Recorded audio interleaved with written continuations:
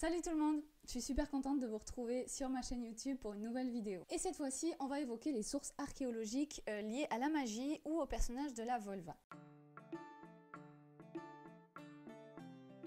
Alors si vous n'êtes pas sûr de savoir ce que c'est une volva, je vous invite à aller voir ma vidéo précédente qui donne une explication un peu générale et comme ça vous saurez de quoi on parle ici. Déjà, on est certain, et quand je dis on, c'est les chercheurs, on est certain que la croyance au surnaturel, elle était répandue chez les Scandinaves parce qu'on a retrouvé un certain nombre d'amulettes ou d'objets ou alors on a observé des pratiques ou des représentations de personnages liés à la magie ou au surnaturel dans les sépultures de l'ère viking. Donc dans une première partie, on va explorer quelques objets ou supports qui proposent une représentation de ces personnages liés à la magie ou au surnaturel. Ensuite, on s'intéressera plus particulièrement aux tombes des pratiquants du Seidr, par exemple comment elles étaient disposées, euh, comment elles étaient traitées. Et pour finir, on quelques objets qui ont effectivement euh, été retrouvés dans des tombes identifiées comme des tombes de Volva. Allez, c'est parti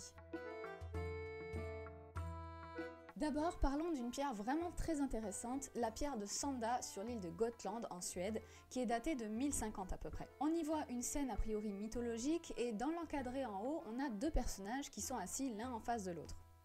Selon les chercheurs, on a un personnage sur la droite qui pourrait être Odin, euh, il est en train de recevoir euh, ce qui semble être une lance, et en face de lui, on a un personnage féminin. Les chercheurs émettent deux hypothèses, il pourrait s'agir de Frigg, la femme d'Odin, mais il pourrait s'agir aussi d'une Volva. Et selon Price, les sources littéraires soutiennent le fait que les Vaulours euh, pouvaient être en compagnie d'Odin ou pouvaient lui rendre visite. Dans tous les cas, il y a deux choses intéressantes à remarquer à propos de ce personnage. Premier élément, c'est qu'elle est assise sur une chaise de type. Coupstol coups de type Coupstall et la peine a été prise de graver ce siège, alors même que Odin, qui lui a un siège qui a un nom même, qui est mythologiquement reconnu, lui n'a pas de siège gravé séparément de son corps. Et ce type de chaise, on le verra plus tard, est, fortement relié euh, à la pratique du seidr. On en a retrouvé notamment sous forme de pendentifs symboliques dans les tombes de velours, on le verra tout à l'heure. Deuxième chose, c'est que derrière elle, elle a un grand oiseau qui est penché par-dessus son épaule et euh, qui ressemble un petit peu à une grue. L'oiseau est un animal symbolique euh, intimement lié à la Volva et à la pratique du voyage spirituel.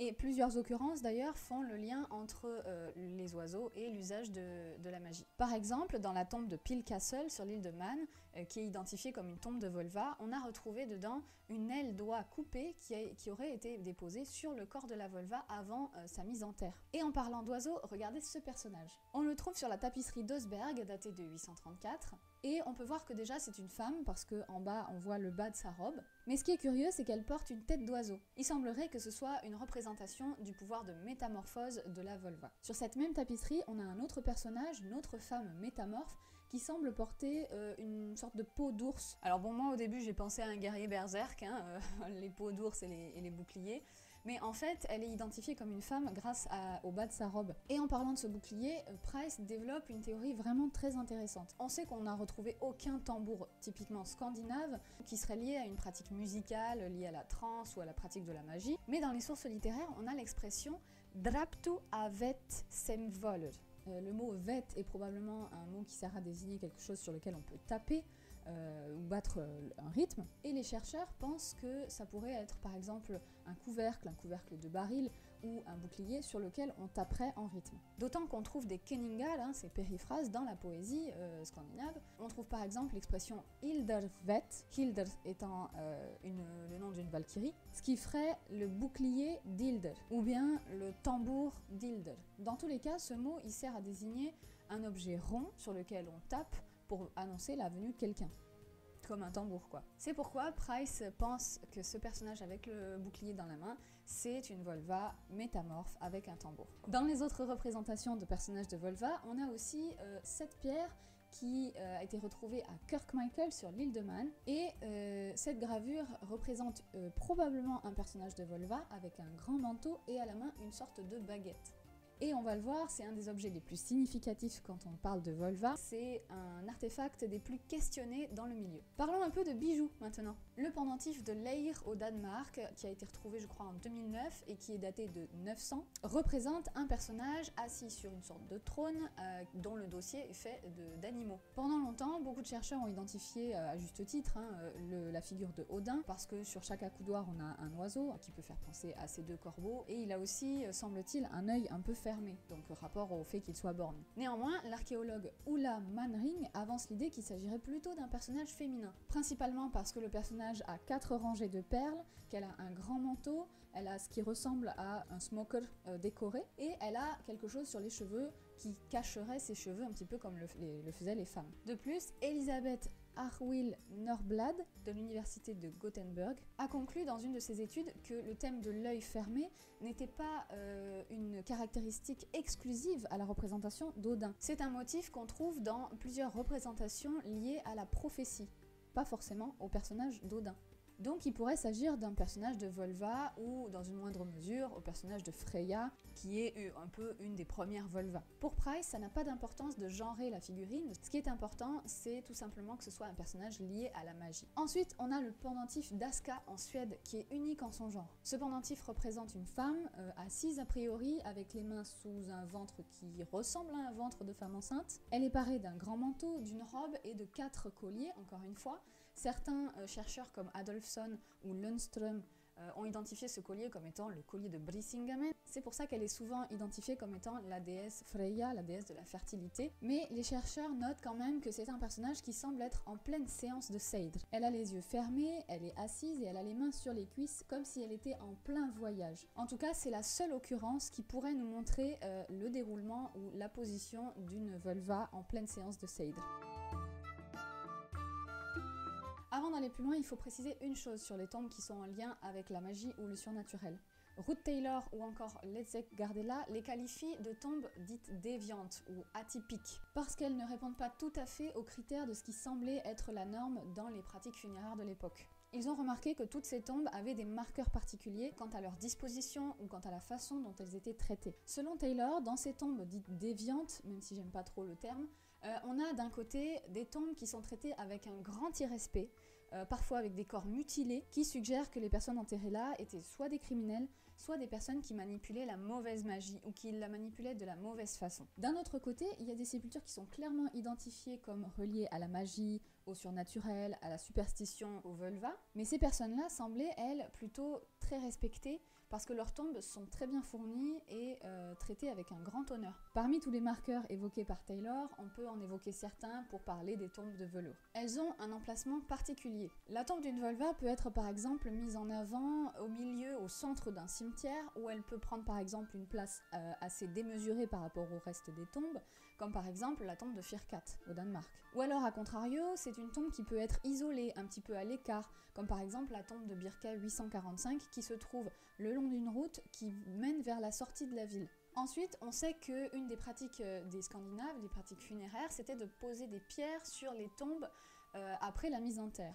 Il s'agissait parfois euh, d'avertissements pour les pilleurs de tombes pour éviter qu'ils ne viennent déterrer les bijoux, ou alors ça pouvait être une pierre tombale en l'honneur du défunt. Mais concernant les tombes de Volva, les villageois étaient souvent anxieux à l'idée qu'une partie de l'âme de la Volva revienne les hanter, et ça même si la personne était très respectée et très appréciée de son vivant. Certains chercheurs, euh, comme Taylor, supposent que les pierres étaient mises là pour euh, forcer l'esprit de la Volva à rester dans la terre pour l'empêcher de revenir hanter les villageois. C'est ce qu'on appelle des pierres apotropaïques. J'ai réussi à le dire qui sont là en fait pour conjurer le sort ou pour repousser un esprit. Et on a des exemples de ces pierres dans la tombe de Kopang. Une autre théorie possible avancée par Gardella est que les pierres étaient là pour faire rester l'esprit de la personne dans les lieux, surtout pour qu'elle apporte la fertilité à toute la vallée. Ensuite, la plupart des tombes identifiées comme étant en lien avec la magie ou le surnaturel sont des tombes de femmes, quand c'est possible d'identifier bien sûr. Et on trouve souvent dans ces tombes-là plusieurs squelettes. Là, on parle bien de double, voire de quadruple enterrement. Par exemple, dans les tombes 834 ou 644 à Virka, on a un homme et une femme qui sont assis l'un sur l'autre sur une chaise et enterrés comme ça. Certains chercheurs comme Price ou Nielsen suggèrent qu'il pourrait y avoir un lien de maître à élève entre ces personnes. Et Gardella, à propos de Kopang, euh, suggère qu'il s'agirait d'un groupe de pratiquants du Seidr enterrés ensemble. Enfin, un dernier marqueur, c'est que toutes les tombes identifiées comme des tombes de velours sont euh, d'un statut social relativement élevé. Par exemple, à Firkat, on a retrouvé des morceaux de tissu euh, très finement tissés qui sont de couleur rouge ou bleue. Dans beaucoup de tombes de Birka, on a également retrouvé des coffres qui contenaient des étoffes euh, très finement tissées. On a aussi des châles ou des galons tissés de soie. On a aussi souvent des ornements au fil d'or ou au fil d'argent, euh, comme par exemple la tombe de Birka 660 ou à Firkat toujours. Et on y trouve très souvent des perles, alors en verre, en cristal de roche, en cornaline, en ambre, ainsi que des chaînettes en argent. Pour justifier ce statut, on peut aussi parler des objets qui viennent de très loin ou des objets exotiques ou rares. Par exemple, dans les tombes de Klinta ou d'Aska, on a retrouvé des cruches orientales qui viennent certainement de Perse ou du Turkistan. Dans la tombe de Firkat, on a aussi retrouvé deux éléments qui viendraient du Moyen-Orient, euh, un bol en bronze et une ampoule en verre très fin.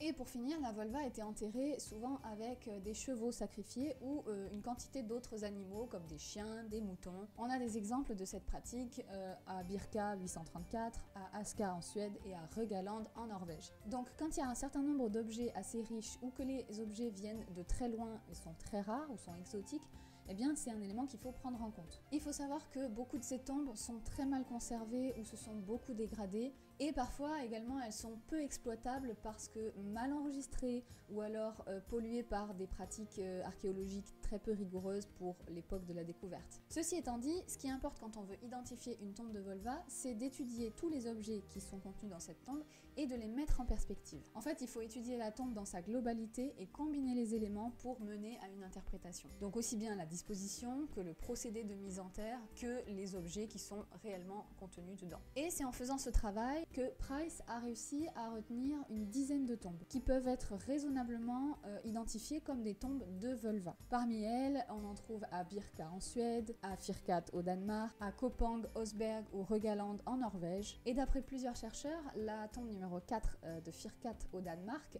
est la candidate la plus évidente puisqu'elle remplit un certain nombre de critères qui permettent de l'identifier comme une tombe de Volva. Alors je vais pas passer ici en revue euh, toutes les tombes une par une parce que ce serait long, indigeste et puis que cette vidéo va déjà être assez longue je pense. Mais je vous proposerai une présentation de chaque tombe dans une série de vidéos qui arrivera prochainement. Et pour l'heure, examinons quelques objets caractéristiques. La fameuse quenouille. Alors je vous ferai une vidéo spéciale là-dessus parce qu'il y a tant de choses à dire et que c'est une question très complexe et étudiée par beaucoup de chercheurs. Donc je pense que ça mérite une vidéo à part. Price rappelle que si ces quenouilles sont trouvées euh, seules au milieu de nulle part ou que c'est euh, le seul élément significatif dans une tombe, on peut pas vraiment le prendre en compte. Et il faut bien garder à l'esprit que pour certaines tombes, euh, cette quenouille peut tout à fait être simplement un artefact lié à l'activité de la défunte. Et pourtant, beaucoup de chercheurs associent la présence de ces quenouilles à des tombes de vulva ou de personnes liées à la magie. Les chercheurs avancent l'idée que ce serait un artefact lié au tissage, oui, mais au tissage de façon métaphorique. Un rappel du travail des Nornes, qui sont liés au tissage du fil de la vie, ou bien des Valkyries qui travaillent sur un grand métier à tisser pour déterminer euh, qui va mourir au combat. Si on veut faire les comptes, on a retrouvé pas moins de 51 bâtons ou baguettes, dont 26 qui ont été retrouvés exclusivement en Norvège, en Suède et au Danemark. Les pendentifs et leur signification sont aussi à prendre en compte quand on veut identifier une tombe de vulva. On a parlé tout à l'heure de la chaise sur laquelle s'asseyait la vulva. Dans les fouilles archéologiques, on n'a retrouvé aucun mobilier qui ressemblerait à un siège pour les séances de Seyd. Mais on a retrouvé un certain nombre de pendentifs représentant cette chaise, avec des designs et des matières différentes, donc par exemple en argent, en ambre, en bois. C'était des pendentifs qui faisaient entre 1 et 3 cm de hauteur, et on en a retrouvé dans des tombes euh, de vulva, comme la tombe 632, 844 de Birka ou la tombe de Firkat. On a également retrouvé une chaise de type coupe-stole, comme on disait tout à l'heure, dans la tombe de Birka 968. Il y a aussi d'autres pendentifs, comme par exemple la tête de Mimir, euh, qui a été retrouvée dans la tombe de Aska, en Suède. Selon Graham Campbell, il s'agit de Mimir et non de Odin, euh, parce que tout simplement il a un casque en forme d'oiseau, mis en perspective avec le reste des objets trouvés dans la tombe, eh bien ça conduit à une interprétation allant dans le sens d'une volva. Parlons également des charmes et du kit d'outils de la volva qu'on pourrait retrouver dans les sources archéologiques. On a retrouvé un certain nombre de mâchoires de sangliers ou de cochons qui semblent avoir été utilisés comme des charmes, notamment à Birka et à Firkat. On a également retrouvé des pelotes de régurgitation de chouettes à Firkat, et c'est une occurrence unique. Et d'après Els Rosdal, ces petites boules étaient conservées dans un petit pochon à la ceinture, un petit pochon en cuir, ce qui lui fait penser à une sorte de charme. Toujours dans la tombe de Firkat, on a retrouvé une sorte de charme euh, avec des suspensions comme celui-là, avec une forme triangulaire et des pattes de canard ou des pattes d'oiseau la. Et le symbole de la chaise et celui de la quenouille ont été retrouvés sur des trousseaux miniatures euh, identifiés comme des kits ou des charmes. Par exemple, le trousseau de Klinta ou celui de Birka, qui contiennent ce que les chercheurs identifient comme des euh, bâtons miniatures. On a un autre ensemble comme ça de trousseaux miniatures dont la provenance est imprécise, mais qui est stocké au musée des antiquités de Stockholm. On trouve dessus une chaise miniature pendue à un anneau, ainsi qu'un cheval, une lance, une épée. Voilà, j'espère que cette vidéo vous aura plu et que ça vous aura apporté un certain nombre d'éléments sur la question. J'ai certainement pas été exhaustive, hein, mais en tout cas c'est une compilation de euh, mes lectures. Si le sujet vous intéresse, je vous invite à aller voir la liste des sources que j'ai utilisées pour faire cette vidéo. N'hésitez pas à partager la vidéo, à la commenter et à la liker. Je vous remercie beaucoup pour l'accueil que vous avez réservé à ma chaîne YouTube euh, dès son lancement. J'ai plein d'idées de sujets, plein d'idées de vidéos, donc j'espère que vous serez toujours là. A bientôt dans une prochaine vidéo. J'ai 20 petits gargouilles, j'ai